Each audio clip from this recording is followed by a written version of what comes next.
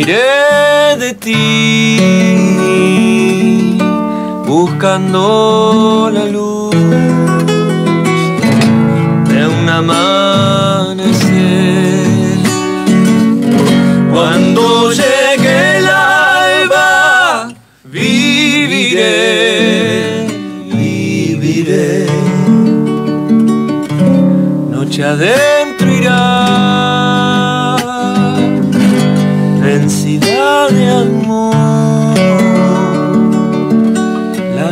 tristeza gris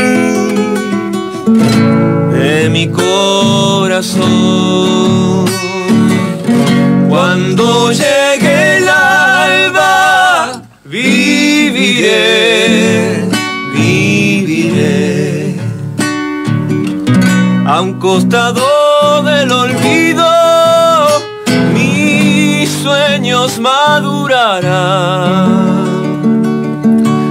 reventando en luz,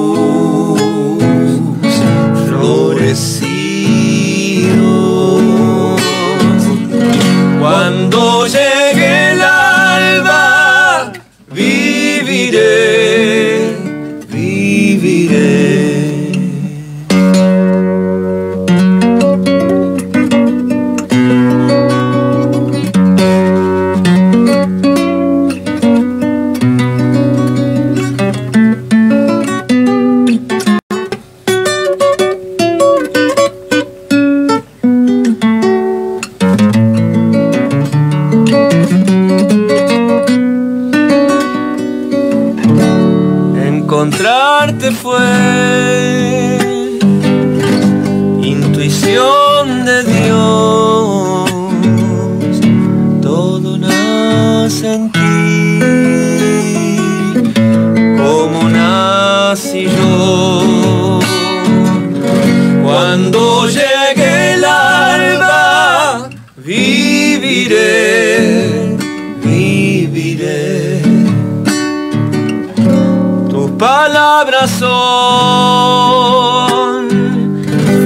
fresco manantial, sintiendo tu voz, aprendí a cantar. Cuando llegue el alba, viviré, viviré a costado sueños madurarán,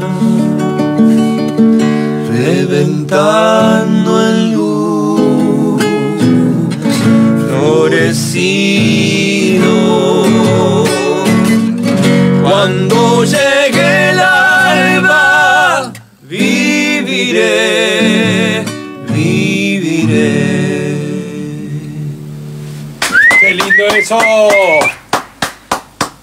Jueves desenchufado en Así son las cosas presentes, señor Sánchez. Un jueves desenchufado de entre casa, porque yo los escuchaba e imaginaba cuántas veces padre e hijo habrán cantado así en su casa, eh, casi de entre casa, como, como un juego, que después se convirtió en profesión. Uno ya la tenía y el otro la ha ido desarrollando bastante lejos de aquí, pero cada tanto por suerte viene a traernos sus cosas nuevas. Estamos hablando obviamente de Mauro y Walter Gentile, que serán los protagonistas este viernes de la recuperación del ciclo Cantautores en su cuarto año consecutivo de realización, que es una especie de desafío, porque hasta ahora los cantautores nunca habían estado presentes. Ahora lo tengo cara a cara. ¿Cómo hago para ponerme a cantar y me digan, no, eso no se canta así"? Claro, ¿no? Y aparte va a tener que contar la historia. Claro. Va a tener que contar la historia. Bueno, bienvenidos a ambos, gracias. Gracias, gracias, gracias, Ricardo. Guillermo Ricardo. Gracias. Bueno, ahí escuchábamos una canción que sabemos que forma parte de esa de ese eh, espe- espe- es- especie de desafío que ustedes se ponían para encontrarse a cantar. Uno mirando lo que estaba haciendo el otro desde hace un tiempo, ¿no, Mauro? Sí, claro que sí. Eh, yo creo que hace ya bastante tiempo que no que no compartimos así mano a mano, ¿no? No, De, de- no, de- años, años. Años de cantar. Entonces para mí es una es como como volver a un lugar que forma parte de- del inicio de todo, digamos. Para mí la música es una casa porque ahí nació todo, ¿no? O sea, en, en el, en el entorno de un hogar, para mí era el cotidiano la música. Entonces, cada vez que cantamos juntos, de hecho en muchas de las canciones nombro en pequeños fragmentos, eh, como, una, como una vuelta a, ese lugar donde yo empecé a, alargar la voz, que tiene que ver junto con, con Walter y... Bueno, e- este relato tiene un poco de eso, el que proponemos mañana a partir de las 20.30 en el teatrino, ¿no? Digo, proponemos porque obviamente me incluyo desde siempre en el ciclo, que se trata de relatar cómo el proceso de ese encuentro hogareño Sí. se fue transformando de a poquito en una profesión cada vez más exigente para Mm. vos, porque comenzó con lo interpretativo de canciones de otros y se fue Sí. dirigiendo hacia la propia voz. Sí, sí, sí, sí, totalmente. Eso es, es algo que inclusive te lo, te lo encontrás como de repente, digamos, ¿no? Siempre para mí fue un juego, de hecho me acuerdo a veces en, en- en- en la casa mostrarle algunas de las canciones, viste, un poco con miedo ahí, porque uno siempre eh, ha, vivido lo que es el repertorio, la obra popular argentina, entonces como tratar de escribir o, largar un, mensaje, una voz dentro de todo ese océano de, de obras populares tan magníficas, era siempre como con mucho cuidado.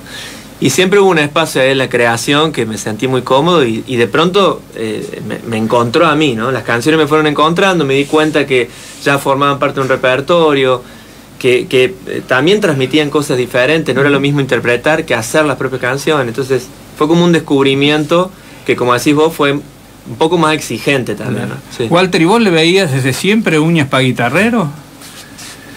Voy a contar una anécdota cuando Mauro quería empezar a, a estar en los escenarios y con Aldo, en la época del dúo, cuando salíamos a, hacer, hacer giras en algunos lugares cercas, eh, bueno, él nos acompañaba. Pero esta vez era más lejos, era La Falda, un festival muy grande y él quería subir, quería subir y bueno, y le decimos a Aldo sube. Entonces yo me acuerdo que dije, eh, bueno, quiere subir, lo vamos a hacer cantar, es un niño que viene de Río Cuarto. Si les gusta, apláudanlo muy fuerte, hasta regálenle una ovación. Si no les gusta, no le digan nada porque es mi hija. y bueno, y resulta que el tipo de ahí ya no se ¿Y bajó qué más. cantó? ¿Te acordás que cantaste? Mira, No no me acuerdo. pero creo que es una chacarera. Me parece que era una chacarera este, eh, del Cuti Roberto Carabajal. Me parece. Ah, sí. Este, cuando, eh, aunque me duele la. Ah, bien, me parece puede que ser era eso sí. Sí, sí, sí. Este, bueno, pero de todas formas, sí, sí, realmente él ya, ya, ya había despegado, inclusive comenzó con su formación académica, yo ya lo iba a ver, pero tocando en la sinfónica, eh, tanto en la juvenil como en la de Córdoba, como, así que bueno, pero sí, esto de compartir hace mucho tiempo que no lo... Córdoba fue importante para ese despegue.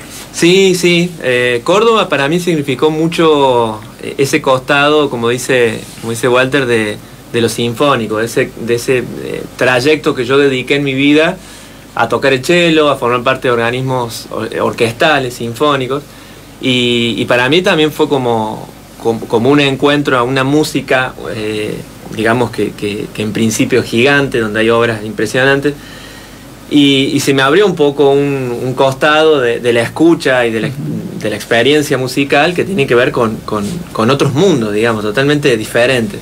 Y yo creo que eso también me permitió tener una, un- una dirección que se fusionó, ese, ese costado de lo sinfónico, de lo, de lo camarístico y demás, con la obra popular. Claro. Porque yo siento que hoy mi música trata de buscar un, un medio entre esas dos cosas. Eh, Porque incluso yo recuerdo la experiencia con Flor Sulchelo. Claro, exactamente. yo creo que sirvió también para que tus canciones encontraran una maduración Sí. musical diferente. Totalmente, esa fue la primera experiencia en donde yo pongo mis canciones dentro de un formato un trío de chelos. Entonces ahí empiezo a darme cuenta que todo va un poco de la mano eh, y, y fue muy bonito encontrar eso. Sí, sí, sí, sí. y con Son- ella hiciste un puente en Europa. Sí, ¿no? con ella estuvimos en una, en una residencia artística en Portugal, en, en Serpa, en el sur de Portugal, donde estuvimos 20 días grabando un disco, que es un disco que hoy está en las plataformas, que se llama Andorinha. Y en ese disco yo toco el cello y además canto y hay partes de, de mis canciones y obras instrumentales también. Eso fueron increíbles, fueron 20 días que hemos estado ahí, este, solo grabando. Y bueno, sí. eh, fue- el núcleo central del espectáculo de mañana van a ser tus canciones, centralísimo, digamos, Eh, el, el desarrollo fundamental de eso, a pesar de que no se puede obviar el hecho de que la experiencia y, y quien más, quien menos por aquí tiene una referencia de lo que ha sucedido con eso. ¿Seguís componiendo? ¿Hay una línea que genere eh, y conduzca esas composiciones? Sí, sí, sigo escribiendo. Yo creo que todas las canciones que están en el EP que yo he grabado, digo EP porque son seis canciones más un single, eh, lo grabé en ese formato cort- más, más, más cortito. Eh, todas esas canciones nacieron previo a mi, a mi, digamos, a mi viaje para Europa. Eh, y en- durante el viaje y la experiencia por allí fueron saliendo otras canciones que obviamente están influenciadas por mi paso por allí, Claro. sobre todo con sonidos que tienen que ver con lo ibérico, con todo lo que yo fui escuchando en, en aquellas tierras y que sin duda no, eh, no se puede obviar como, como estímulo, ¿no es cierto?, en la parte creativa. Y me fui dando cuenta que parte de las canciones que van saliendo tiene mucho que ver con eso. Eh, entonces se encuentran los dos mundos, ¿no? La- las canciones que yo usaba el imaginario, ¿no? O, o por ahí recurría mucho a, a mi vida, al pasado, a, a mi paso por todos estos lugares, y allá empiezan a salir muchas de las cosas más eh, vividas en el presente, ¿no es cierto? La experiencia más. Mauro, Walter y Ricardo anticipando, Los Gentile y Don Sánchez, en lo que va a ser mañana a las 20.30 20:30 en el en el Teatrino. De la Trapalanda, el merecido reconocimiento de un artista nuestro, porque hay algo que pasa con los artistas locales, les perdemos el rastro y parece que eh, dejan de hacer cosas porque no las hacen acá. Y escuchándote, Mauro, has eh, recorrido un largo camino, muchacho, ¿no? Sí, Eh, sí. Que, que es producto de la vocación, la pasión y del Sí. sacrificio también. Sí, total, total. Yo igual siento que es la primera vez que vuelvo, a, a- sobre todo a Río Cuarto, porque ya van varios conciertos que han pasado aquí. Y yo tengo una, una gran satisfacción con eso, porque siento que, que yo me quedaría reencontrar con este lugar que me, ha visto, o yo me, eh, me he visto crecer en este lugar musicalmente, donde ha sido mi, mi primer formación musical. Entonces volver a hacer lo que yo vengo haciendo allá para mí es una gran ilusión.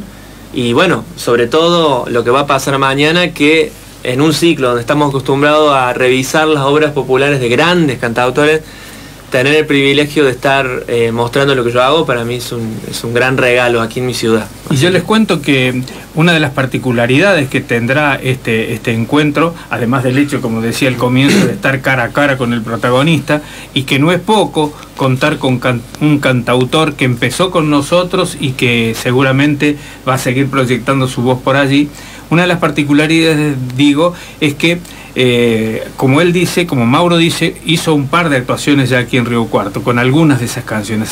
Aquí se va a completar el ciclo, pero además hablando de la particularidad de cada una de esas canciones, que es algo que en los recitales habituales no se da. No se da. Así que te- nos- yo mismo tengo una gran expectativa para mañana. ¿Podemos cerrar con algo más? Sí, claro, claro. No sé. No, no, el artista ahora lo- le vamos a dar ahí, es él, es él, es él. Bueno, el padre estará orgulloso de su hijo, ¿no? Porque cuando el alumno, el alumno supera al maestro, hay como una Eh, satisfacción, eh, ¿no? Sí, por supuesto, por supuesto. Ah, tengo una cosa que decir. Acá veo en X, Marta Gómez, una estupenda eh, cantora colombiana que está radicada hace mucho tiempo en, en España y que tiene una larga trayectoria, tiene un gran éxito allí. Cuenta en el cuenta X que veo aquí, dice La Aldea, una maravillosa canción de Mauro Gentile que interpretamos juntos hace unas semanas aquí en Barcelona. Estuvo en ese recital y es como para refrendar que la aldea, como tantas otras canciones, son excelentes canciones que van a sonar este viernes. Wow, no había leído ese comentario. Qué bueno. Qué bueno escucharlo, sentirlo. Bueno, voy a hacer una canción igual que tampoco me pertenece. Ahora vamos a dejar las mías para mañana. Bien. Pero voy a hacer una milonga de un gran compositor cordobés que es Juan Payo Toch y que ha- es una canción que me ha acompañado muchísimo en, en todos estos tiempos.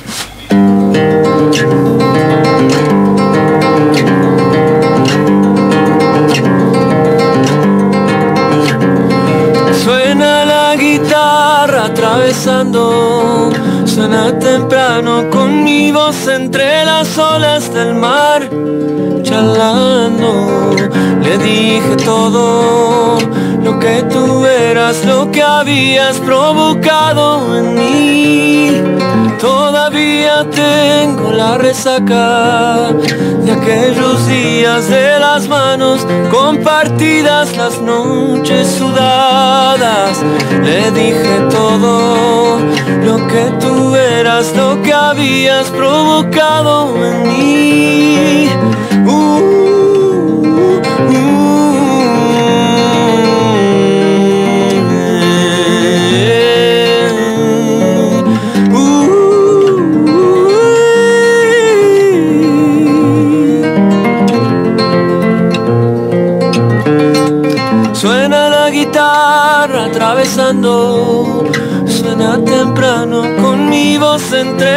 Olas del mar.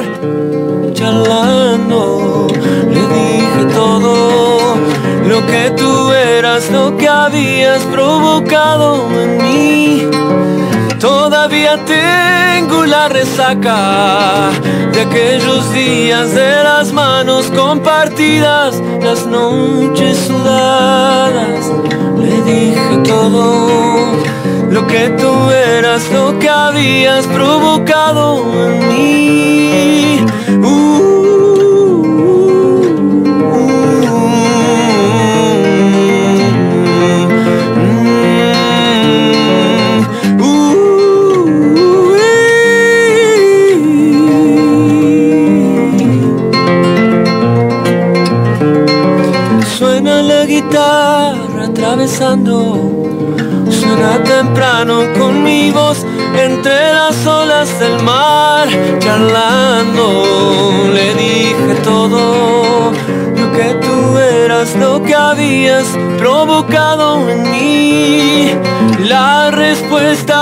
Con el agua, sé transparente y bendecida con dejarla fluir, soltala que viaje sola y que se encuentre y que decida lo que le hace feliz. Uh.